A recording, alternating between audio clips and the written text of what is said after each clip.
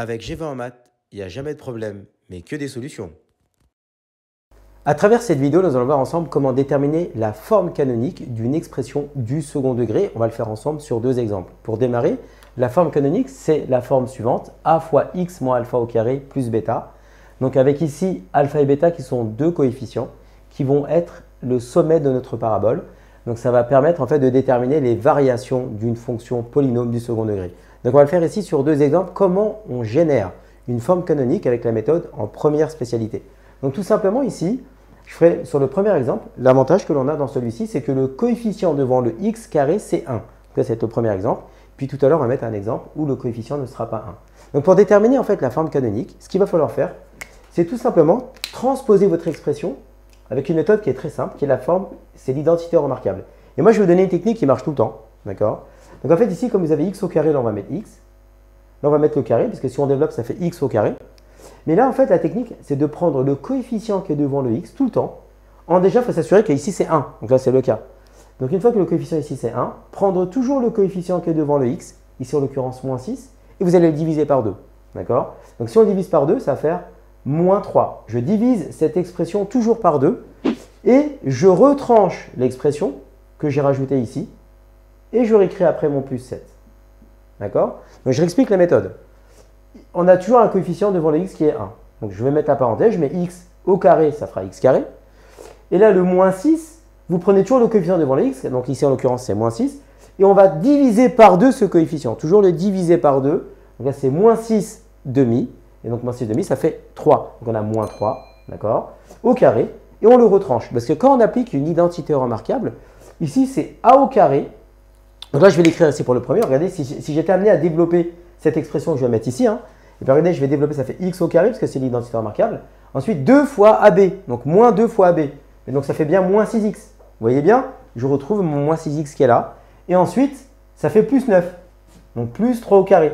D'accord? Donc comme je rajoute le plus 3 au carré dans mon expression, je le retranche. D'accord? Et ensuite, je réécris la formule plus 7. Ensuite, bah, il, nous reste plus simplement à calculer les termes, c'est-à-dire ici x moins 3 au carré. Le 3 ici au carré, ça va faire 9, donc ça nous fait moins 9 plus 7. Et donc là, vous avez f de x qui est égal à x moins 3 au carré moins 2. Et là, vous avez votre forme canonique. Et donc ici, dans la forme canonique, par rapport à la formule que l'on a ici, eh bien, on va pouvoir ici trouver la valeur de A, alpha et bêta, on va en avoir besoin, donc je le donne maintenant. Donc ici, le A, ben, en l'occurrence, c'est 1, parce que là, il n'y a rien ici, donc c'est le coefficient 1. D'accord? Le alpha, c'est ici 3, parce que la formule, c'est, regardez, x moins alpha, donc là, il y a un moins, donc le alpha, c'est que 3. Et le bêta, c'est moins 2. Et on fera une autre vidéo qui expliquera le lien entre ici la forme canonique et les notions de variation. Donc ça, c'est le premier exemple. Et on va faire un deuxième exemple tout de suite. Deuxième exemple pour la forme canonique. Donc ici, on souhaite déterminer la forme canonique de 2x au carré plus 10x plus 1. Donc là, par rapport au premier exemple, ce qui se passe, c'est que le coefficient devant le x carré, c'est 2. Et là, vous n'avez pas 1. Donc là, la première chose à faire, dans le cas où le coefficient devant le x carré, ici en l'occurrence le a, qui vaut 2 ici, est différent de 1, vous devez absolument factoriser par le coefficient devant le x carré. Donc là, on va prendre notre expression f, et puis je vais factoriser par 2. Donc, je vais tout factoriser mon expression par 2. Ça fait 2 fois, entre parenthèses, x au carré, plus 5x, bah, parce que là je divise par 2, 10x, plus 1 demi. Donc là j'ai factorisé mon expression. Une fois que j'ai fait ça, et eh bien maintenant je vais reproduire la même chose que tout à l'heure, c'est-à-dire que là devant mon x carré j'ai un 1. Et donc la méthode pour appliquer la forme canonique, c'est la référence de l'identité de remarquable. Et donc là on va l'appliquer, donc là je vais mettre un crochet, je vais mettre la parenthèse, et je vais m'intéresser en fait à toute cette expression-là. Donc là ce que je vais faire, c'est qu'ici je vais mettre x au carré, parce que x, le tout au carré, ça fera bien x carré. Et là, la méthode que je vous ai dit tout à l'heure, c'est de toujours prendre le coefficient qui est devant le x, donc ici en l'occurrence le plus 5, et on va toujours le diviser par 2, ou multiplier par 1,5, c'est pareil, on divise par 2. Donc là, je prends le 5 ici, et je vais le plus 5, je le divise par 2. Donc si je le divise par 2, ça fait tout simplement plus le 5 demi, d'accord? Ici, et là, je mets au carré. Pourquoi? Parce que là, en fait, ce qui va se passer, c'est que là, c'est une identité remarquable, c'est a plus b au carré. Donc si on développait, là, je vais le développer ici à droite, l'expression pour qu'on le voit. Si je développe cette expression qui est ici, ça va faire x au carré, parce que x au carré c'est a au carré, plus 2ab. Donc ça fait plus, regardez, ça fait plus 2 fois le a qui est x fois le b qui est 5 demi. D'accord Et ensuite on va faire plus b carré. Je vais faire plus, bah, je vais rajouter 5 demi au carré. D'accord Donc si je développe tout ça, si je réduis tout ça, ça fait x au carré. Et là le 2 fois x fois 5 demi, bah, en fait si je simplifie les deux, ça fait plus 5x. Et vous voyez, je retombe exactement sur mon expression est là. Et donc, pour que ce soit exactement la même chose, eh ben, je vais toujours, on a dit, enlever eh bien, cette expression au carré. Parce que vous voyez ici, elle apparaît, elle est en trop. Donc nous, on va l'enlever, comme ça, eh ben, ça va faire exactement toute cette expression. Ça va vous donner exactement le début de, ce carré de, l'identité remarquable ici, le a plus b au carré. D'accord? Et ensuite, on enlève, bah, on fait ici le plus 1 demi, parce qu'on a plus 1 demi, et on met bien notre crochet. Donc là, on a fait l'expression, donc f de x égale, là je mets 2, entre crochets, donc je réécris mon x plus 5 demi, je laisse 5 demi au carré.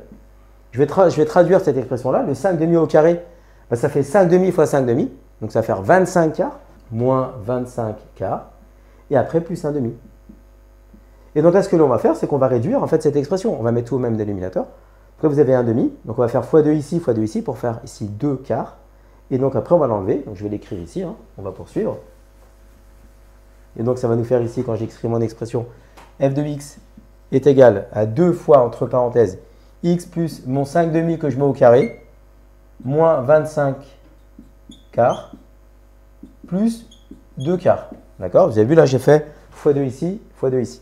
Et ensuite, on va réduire. Donc ça va nous faire ici f de x est égal à 2x plus 5. Donc là ici, 5 demi plus 5 demi au carré, moins, ici, ça nous fait 23 quarts. Et enfin, ce qu'on va faire, pour avoir la forme canonique hein, qui est au-dessus, bah, je vais distribuer le 2 ici et le 2 ici. D'accord? Pour avoir vraiment ma forme canonique.